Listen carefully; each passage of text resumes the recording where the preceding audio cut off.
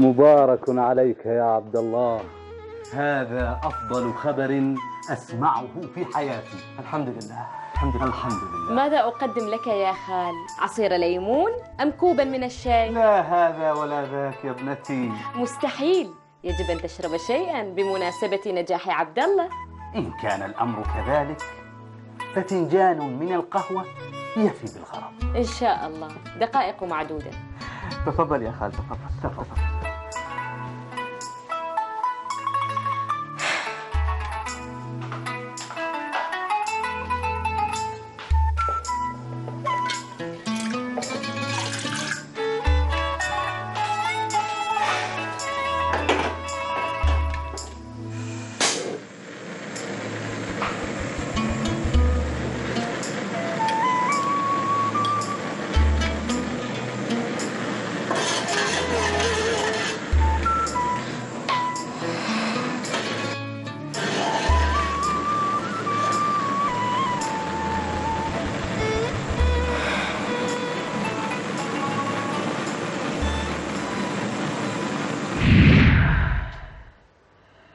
أريد أن أوصيك خيرا بأخيك. ما الذي يدفعك إلى هذا الحديث الآن؟ يا حبيبتي الأعمار بيد الله.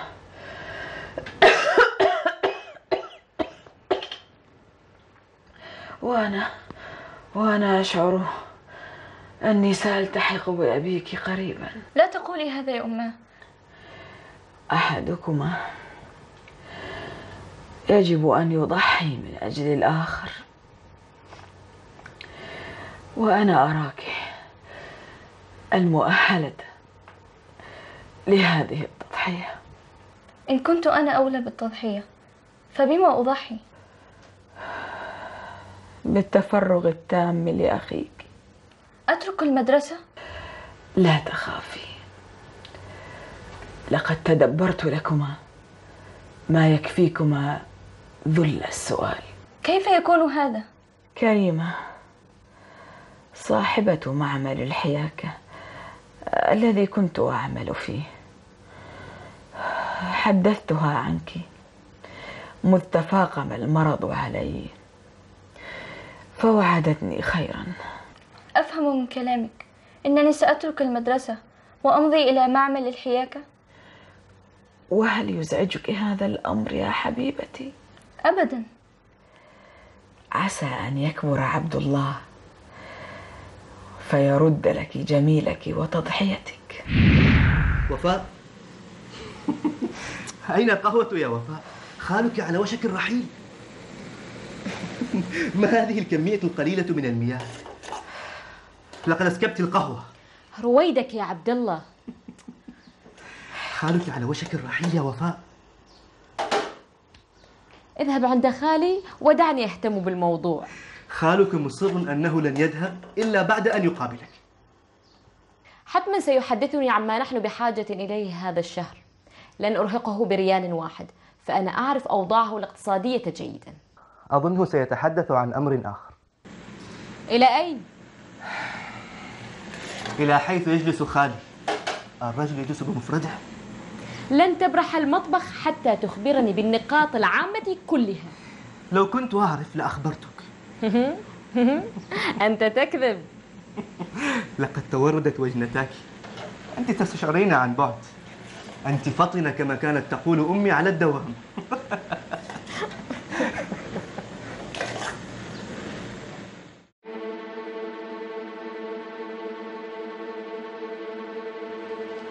لا حل سوى هذا الحل.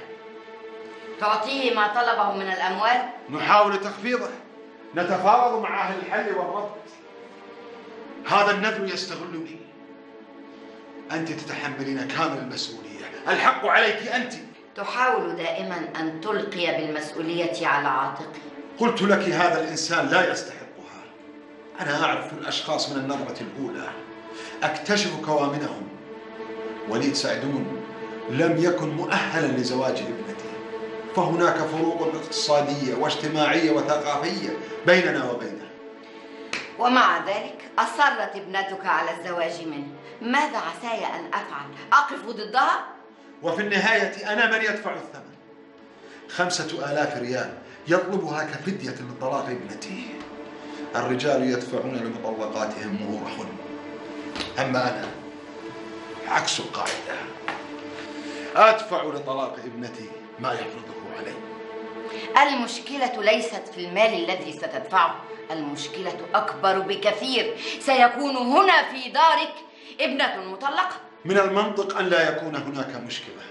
إنما المجتمع يجعل من المطلقة امرأة درجة ثانية. المطلقة هي كبقية النساء. اللهم إنها فشلت في تجربة كما يفشل الطالب في الامتحان. هناك أمر غريب يحدث في هذا أراك تريد العودة إلى منام الأمس. لم يغادرني قط طيلة هذا النهار.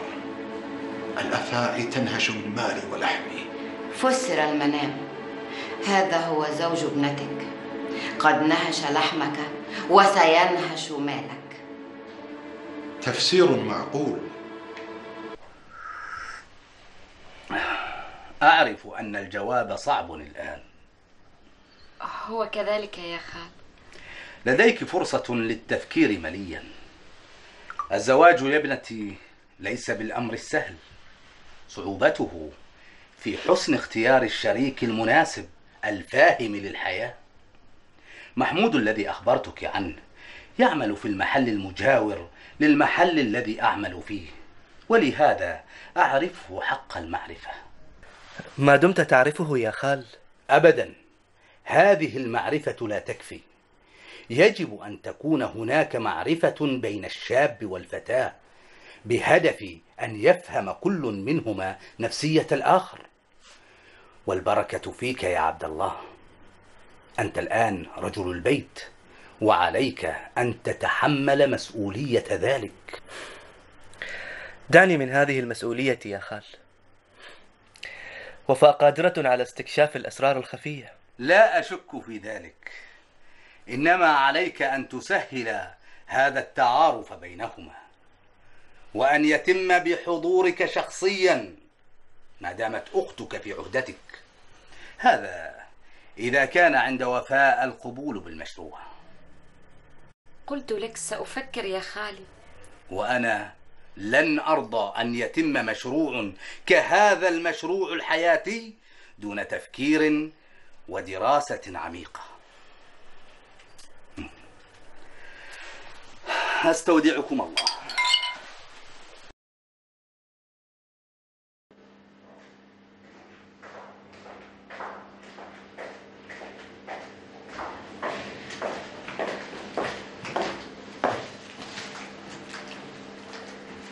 ألم ترتدي ثيابك بعد؟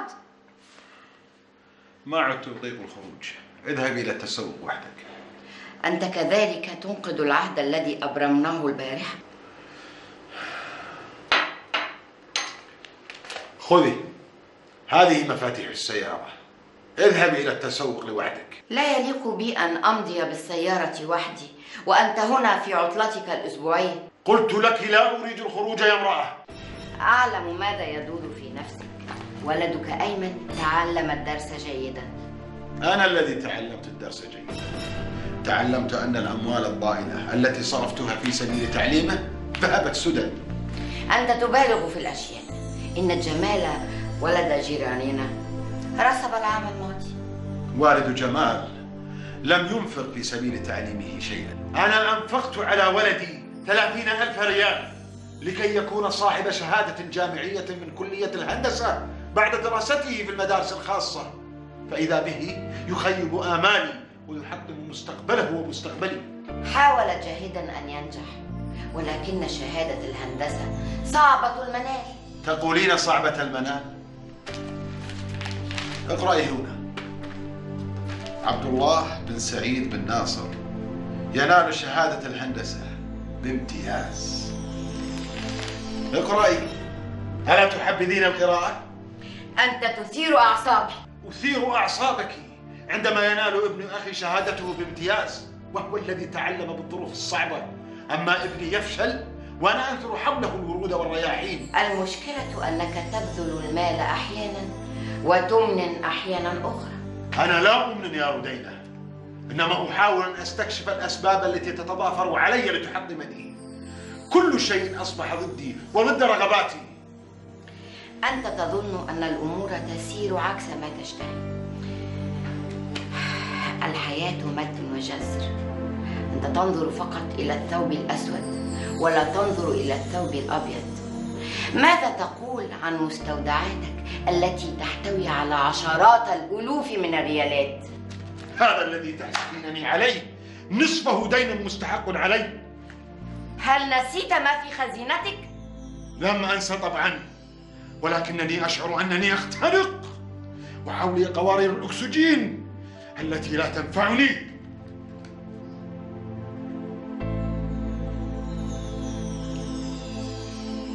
لا حول ولا قوة إلا بالله.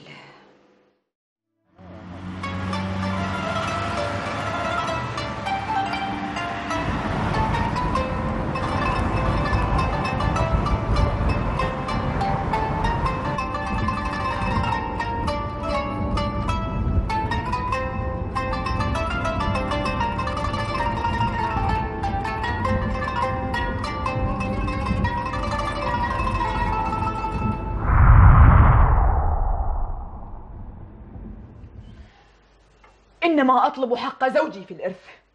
ليس لزوجك أي حق عندي. كيف؟ ألم تكونا شريكين في المؤسسة؟ أخي كان مجرد معاون لي.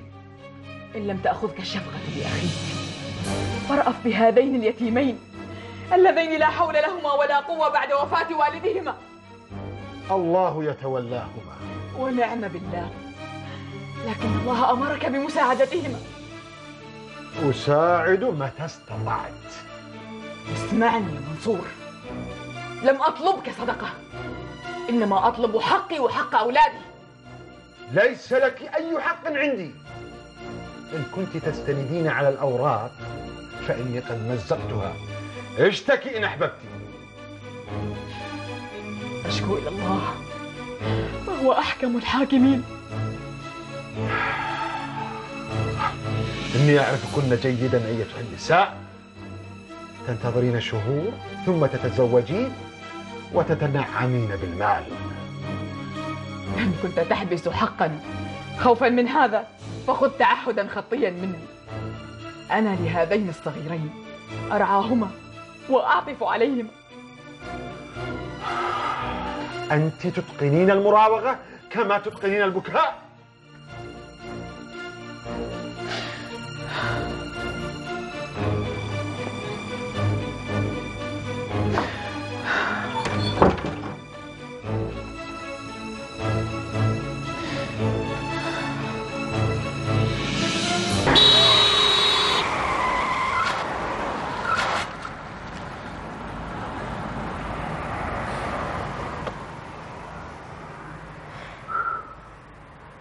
ما الذي حدث؟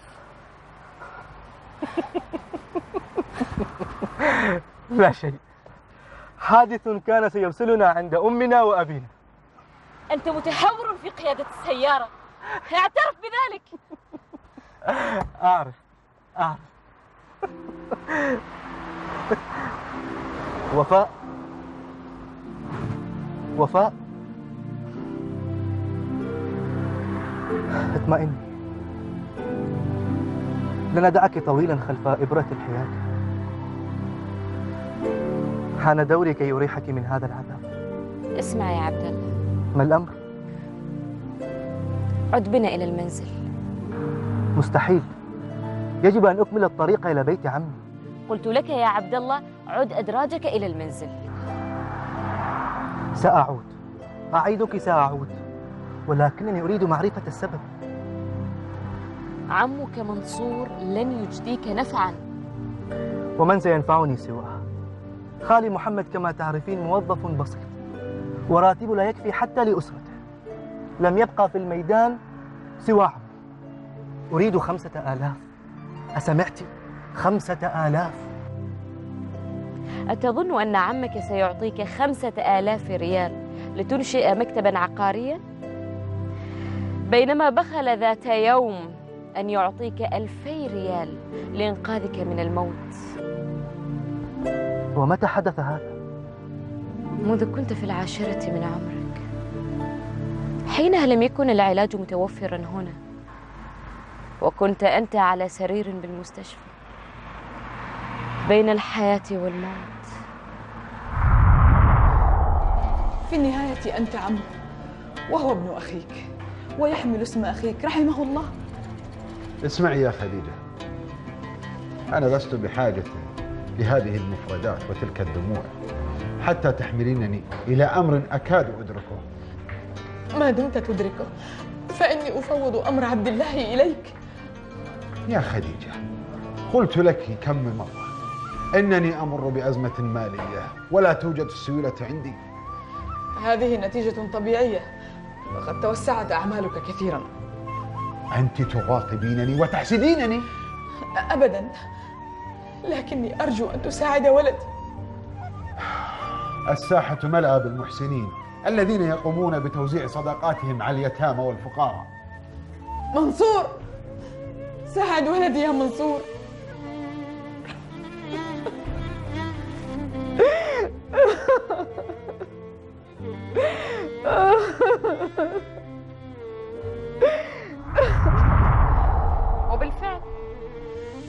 عمي صادقا فيما يقوله أتت الصدقات من المحسنين؟ وتلقيت أنت علاجك بالخارج وأجرى لك الأطباء العملية بفضل من الله.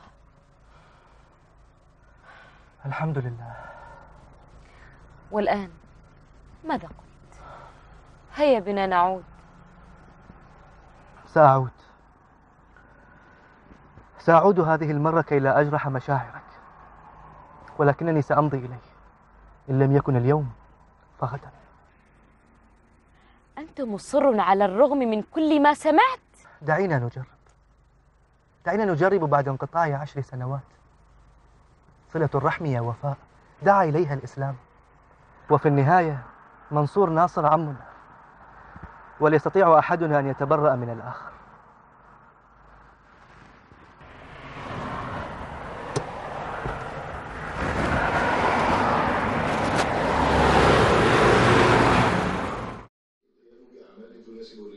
أنا لا أرى الأمور كذلك ما أراه أنني أحب العمل مع هذه الحيوانات أظن أن الرجال أكثر عددا في هذا المجال لكن إن كان لديك إصرار على القيام بشيء في الحياة فماذا نعم. نعم. أنا منصور بن حسن. مركز الشرطة. ماذا؟ قادم قادم. إلي بملابسي؟ ما الذي جرى يا منصور؟ مستودعات احترقت يا لطيف يا لطيف يا رب يا لطيف. يؤسفني أن أقول لك إن تأمين مؤسستك قد انتهى تاريخه منذ أيام ثلاثة. مستحيل! هذه هي الأوراق. تأملها جيدا.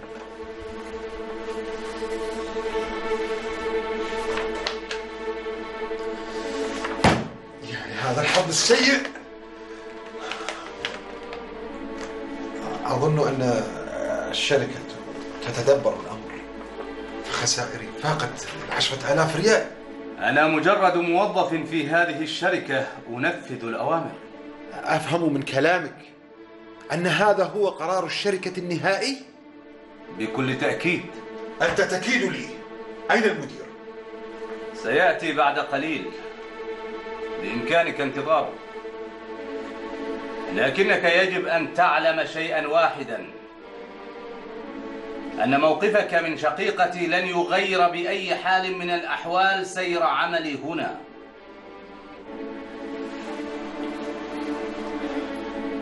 ما نسبة الحريق في المستودع؟ خمسون بالمئة من الخسائر. القسم الأيمن بأكمله احترق. القسم الأيمن؟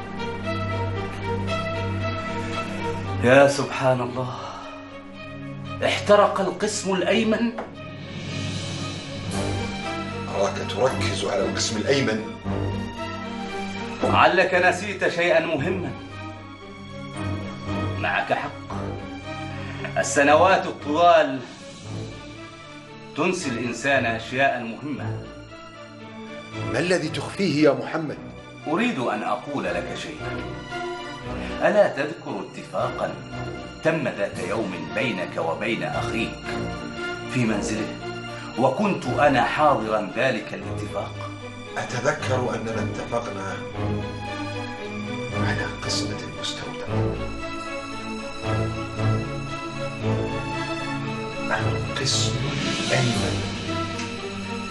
يومها أخذ أخوك من المستودع القسم الأيمن. وأخذت أنت القسم الأيسر. والذي احترق القسم الأيمن. يا الله! هذه عبرة علك تتعظ بها.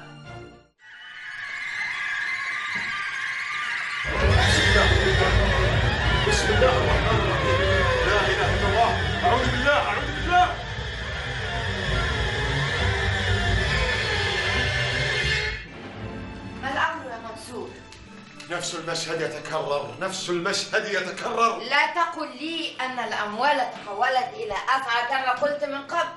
ها هي الأموال؟ بل قولي أفاعي تريد أن تنهشني عليك أن تذهب إلى طبيب نفسي. هل تقصدين أنني في مرحلة متقدمة من الجنون؟ أنت تعاني من إرهاق عصبي يجب أن ترتاح. كل هذه المصائب تتوالى علينا دون انقطاع. أنا حرمت يتيمين من حق أبيهما علي. اليتيمان كبرا ولم يعودا يحتاجان إلى رعاية منك. ضع ذلك في ذهنك. ولكنني لا زلت أحتجز حقهما. إلى أين يا منصور؟ إلى حيث يجب أن أكون. منصور! منصور!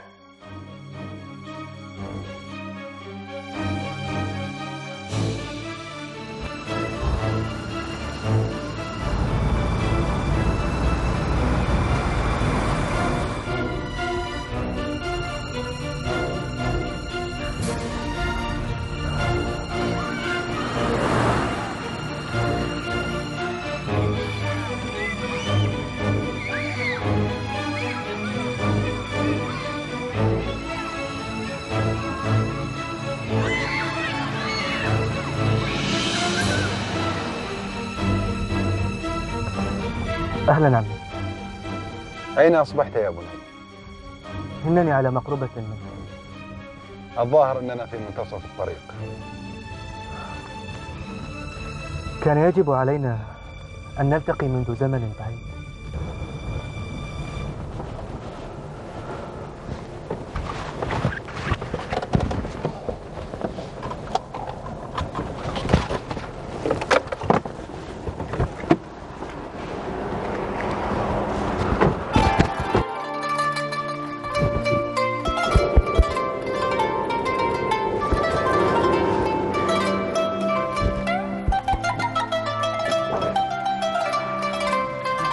أين وفاء؟ وفاء في البيت. تنتظر. تعد لك العصير الذي تحبه. إذا هيا بنا؟ هيا بنا.